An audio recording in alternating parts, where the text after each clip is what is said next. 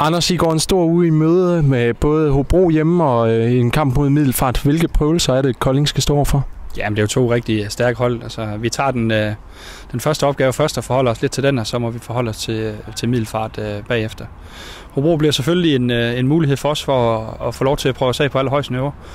Øh, der findes ikke nogen større mulighed end, øh, end et, end mod et hold, der ligger nummer, øh, nummer to i Superligaen. Så, så, så det glæder vi os på, på mange måder til. Øh, og ligesom se, jamen, hvor er det, vi, hvilke parametre er det, vi kan være med på, og hvilke parametre er det måske, hvor, hvor vi mangler noget. Det bliver spændende. Nu er det som sagt to vigtige kampe. Er der en af dem, du vægter højere end den anden? Nej, jeg vil gerne vinde alle fodboldkampe.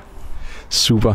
Hvis vi skal se på kampen, så kan I jo risikere at komme i forlænget spilletid i morgen. Hvad tanker gør du der omkring det, når I også har den store kamp på lørdag? Det gør ikke så meget. Sejr, det, det, det, det får os ømheden til at gå lidt væk. Så lad os bare tage Hobro i forlænget spilletid i morgen og vente der. Og det bliver jo så en vigtig kamp i morgen, I skal spille. Hvad gør man sig af tanker frem mod sådan en kamp mod en, en modstander, som ligger så højt over?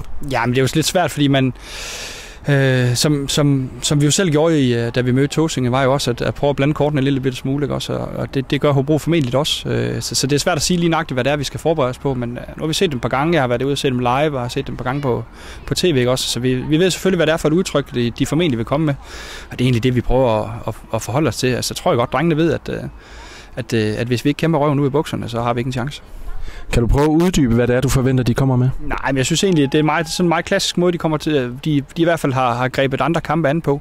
Øh, om det er det, det udtryk, de kommer med ved os, det, det ved jeg ikke. Men, men ellers så er det et... Øh, så er det en måde at spille på, som vi har øh, mødt før, og øh, som måske bare bliver udført med lidt større kvalitet.